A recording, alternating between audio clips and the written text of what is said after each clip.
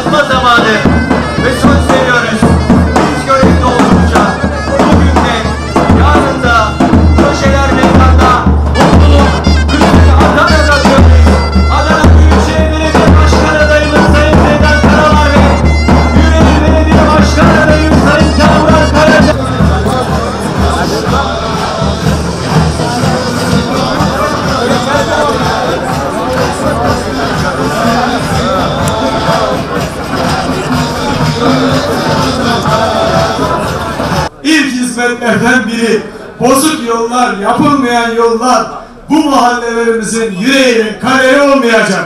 Bunları, bunları yaparak başlayacak. Bizim bu mahallelerde çocuklarımız için, çocuklarımız için spor alanları, spor tesisleri, kapalı semt pazarı vatandaşlarımız için ihtiyaç olduğunu biliyorum. Konuşuyoruz vatandaşlarımızla. Bunlar ikinci etapta hızla tamamlayacağımız hizmetler, kapalı semt pazarı, taziye evi, park bahçe, çocuklarımızın oynayacakları spor alanları. Bunlar bizim asli görevimiz olacak ve hızla planlandırıp bunları hayata geçireceğiz. Adana'nın halkçı, Adana'nın emekçi başkanı, Adana Büyükşehir Belediye Başkan adayımız Sayın Zeydan Karalar'ı takdim ediyorum alkışlarla.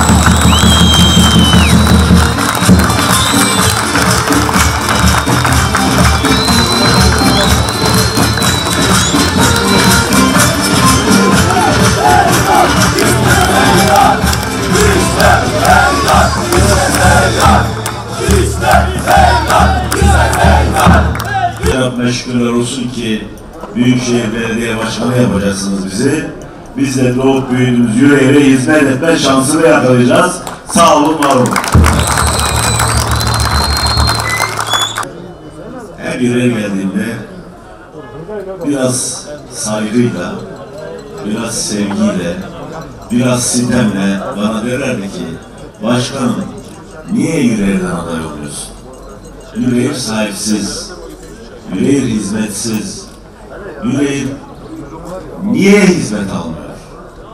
Tabii şöyle söyleyeyim, ben, ben geçmiş belediye başkanlarının hiçbirisine laf etmek istemem. Onlar da imkanları doğrultusunda bir şey yapmaya çalıştılar. Onlara bir lafım yok ama biz başka bir yöneticiyiz. Yoktan var etmek Yüce Allah'a mahsustur ama biz herkesten daha fazla iş yapma becerisine, kabiliyetine sahip insanlarız. Bu örnek mi Seyhan? Seyhan da yüreği gibiydi. Nereye gidersek gidelim Seyhan örnek gösterirler. Seyhan'da olmazlar oldu. Olmaz denilenler yapıldı. Mesela ne mi diye sorarsanız söyleyin kıymetli kardeşim. Kısaca geçelim. Şimdi biz biliyorsunuz tazelerimize çok önem veririz. Acılarımızı paylaşmak isteriz. Sevincimizi paylaşırız ama acımızı paylaşmak daha da önemlidir bizim toplum için. Dolayısıyla taziye isterler bizde. Bakın Seyhan'da yaşanan iki taziye vardı 25 yılda yapılan. Benden önceki 25 yılda sadece sadece iki taziye vardı. Ben 34 taziye yaptım. 34.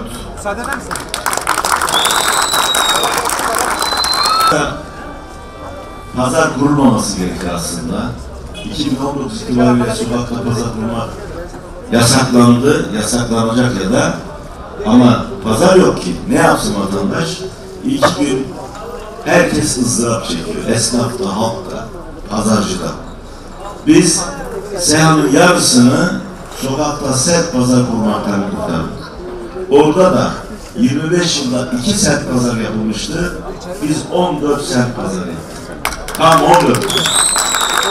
Bunun 4 tanesi mahalle merkezi adı altında her şeyi içeren tiyatro salonu, çok amaçlı salon, semt pazarı, kapalı tabi, düğün salonu, çocuk oyun parkı, kadın İslam merkezi gibi 7-8 işlevli binalar yaptık. Devasa.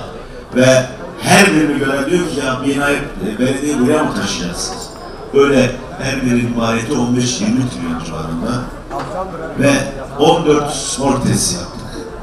Bunun 10'unda yaklaşık birinde 8, birinde 10, birinde 13 dalda aynı anda spor yapılacak tesisler. Ve kıymetli kardeşim, üçünde spor salonu, kapalı spor salonu var. Cep kapalı salonu. Bunlar hiçbirisi var mıydı? Belediyenin yaptığı bir spor salonu var mıydı benim genceye kadar? Hiç duydunuz mu? Yok. Masa bir proje. Bırakınız ilçe belediyesinin bu işe teşebbüs etmesini Büyükşehir'in aklına bile gelmedi.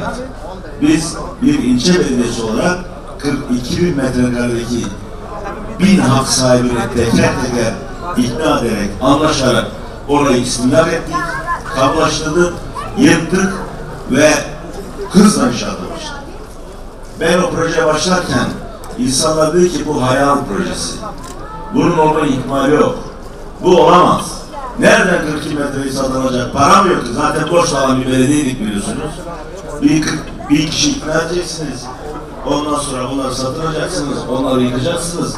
İnşaata başlayacaksınız. Bu projeler 3-4 dönemde bitmeyen projelerdi. Geçmişte gördük hepsini. Ama biz evvel Allah'ın izni sonra sizden aldığımız güçle bin hak sahibinden satın aldık oraları. Projeyi yaptık ve inşallah meydanı Mart'ın sonuna doğru açacağız. Halk kart bizim Türkiye'de bu uygulamayı yapan ilk belediye olarak bizim de bir onurumuz. Biliyorsunuz aile sigortası dedi Kemal Kılıçdaroğlu ilk genel başkanlığında. Bu Seyhan Belediyesi versiyonudur. Halk kart şudur değerli arkadaşlar. Mağdurumuz çok. Fakir fukaramız çok. İş aç bulmayan insanımız çok.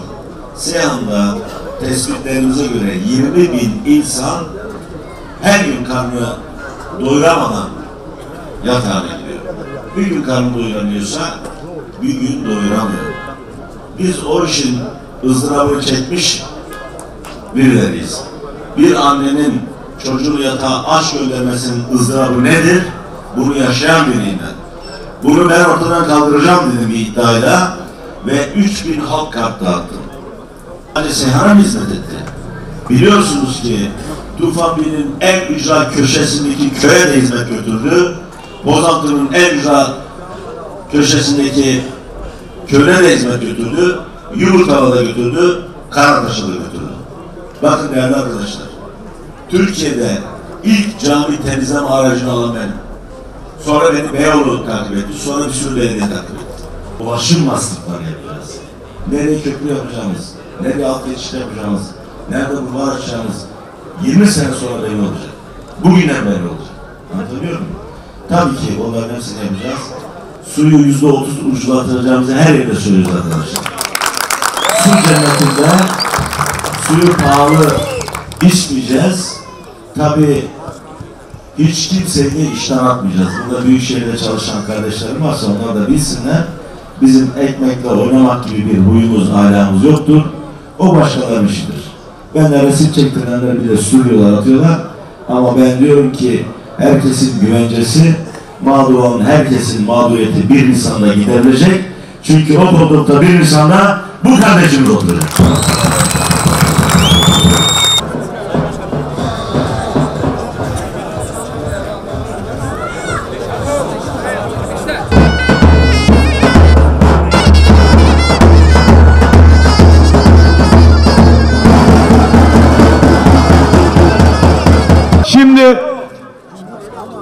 Burada bir virgül koyuyoruz. Zeydan Başkan da aramıza geldi. Hoş geldin Sayın Başkan. Hoş geldin. O dumanlar gerçekten duman deyip geçmeyin. Kanserojen olduğunu biliyoruz. sigara dumanından daha tehlikeli olduğunu biliyoruz. Bu çünkü dağıtılan kömürler son derece kalitesiz. Bunun da çözümü doğalgazın altyapısı tamamlanmış yörelerle buluşturulması. Oradan geçiyor.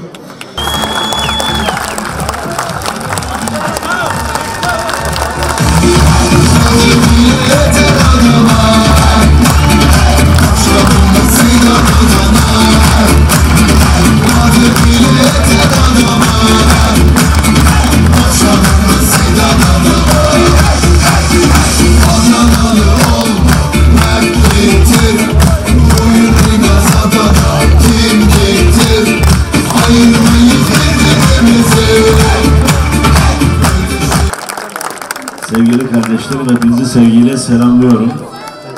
Bu güzel topluluk, bu canlı topluluk, bu bize moral veren, can veren, kanlık, kan veren topluluğa da hürmetlerimi, sevgilerimi sunuyorum. Sağ olun, var olun.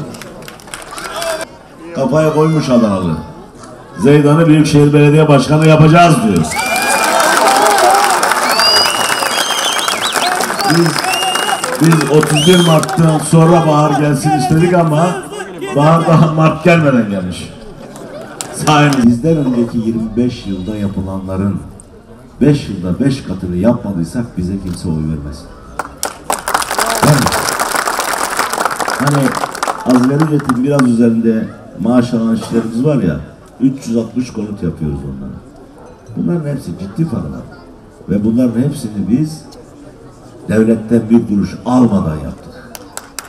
Almadan yaptık. Ve yapmaya devam ediyoruz. Uzun yıllar genel müdürlük yaptım bilirsiniz. Biraz da, biraz da yönetme kabiliyeti olmalı. Yani şimdi Büyükşehir Belediye Başkanı yıllık 3 milyon, 3 katrilyon bütçe var. 5 ile çarpın 15 katrilyon. 15 katrilyonu yönetecek bir adam para bilmezse, bir hayatı yoksa, bir başarı, başarı hikaye- hikayesi yoksa, bir yerde ciddi bir işletmecilik yapmamışsa, bir yöneticilik yapmamışsa bunu nasıl yönetecek? Bilmez bile. Gider, para nereye gider haberi bile olmaz. Haberi bile olmaz. Benden öncekiler gibi.